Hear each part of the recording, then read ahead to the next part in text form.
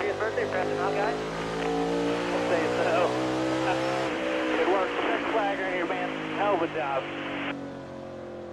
Great job. Congrats, Adam. Ken Cliff, everybody. Good job today. Great recovery. Sorry I got pissed off for a little while.